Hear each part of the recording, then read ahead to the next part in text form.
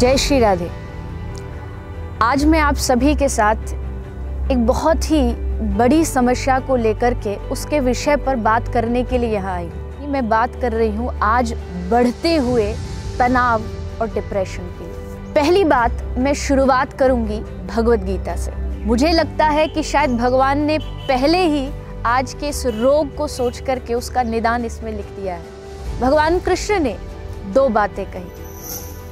ध्यायतो विषयान पुंसः संगस्ते सुपजायते, संगा संजायते कामः, कामात् क्रोधो विजायते क्रोधात् भवति सम्मोहात् सम्मोहात् स्मृतिभ्रंशः, स्मृतिभ्रंशात् बुद्धिनाशो, बुद्धिनाशात् प्रणश एक व्यक्ति जो इस रोग का शिकार है, शायद उसे भी नहीं पता कि कारण क्या है, वो क्यों परेशान है, वो क्यों इतना अकेला महसूस करता है।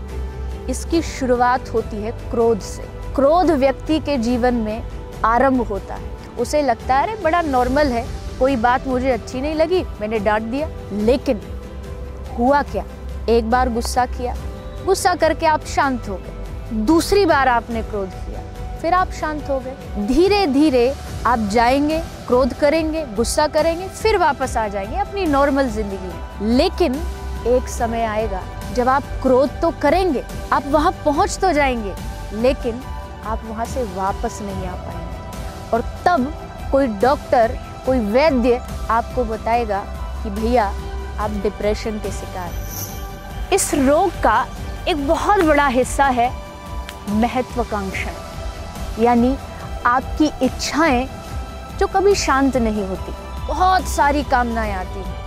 और जब वो पूरी नहीं होती तो क्रोध, गुस्सा उत्पन्न होता है। और धीरे धीरे गुस्सा, मानसिक तनाव मानसिक तनाव से आप धीरे धीरे अपनी जो मेंटल स्थिति है, उससे गिरते चले जाते हैं। अपनी इच्छाएँ, अपनी महत्वाकांक्षाएँ को जिस दिन हमने अपने कंट्रोल में रखना सीख लिया, उस दिन आपके मन से मानसिक तनाव अपने आप दूर हो जाएगा। जब आपको लगा कि कोई व्यक्ति इस बीमारी की ओर बढ़ रहा है और आपको उसके लक्षण दिखाई दे रहे हैं। तो आप एक काम करिए, उसकी मदद करिए जा कर के उसको एक अच्छे माहौल में, एक अच्छे वातावरण में लेके जाइए। उसको प्रकृति से जोड़िए कि देखो, इस संसार में कितनी हरियाली है, कितनी सुंदरता है। एक बार घर से निकल और चल मेरे साथ, देख इस दुनिया को, कितनी सुंदर दुनिया है। उसको खुश रखने का प्रयास करिए, ताकि वो इस बीमारी से निजात पा सके।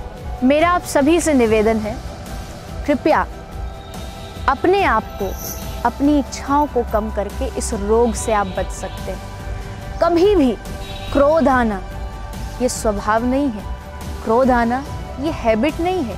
ये एक रोग है जो धीरे धीरे आपको बहुत दूर ले जाएगा, जहाँ से आप वापस नहीं आ पाएँगे। पहली बार ही जब आपको किसी को डांटने का मन करे तो अपनी लास्ट स्थिति को याद कर लीजिएगा कि इसका अंतिम परिणाम आपके जीवन में क्या हो सकता है। शायद आप अंतिम परिणाम को देख के डर जाएँ और इसका शुरुआत ही करने से आप वहीं से रोक इसी निवेदन के साथ आप सभी को राधे राधे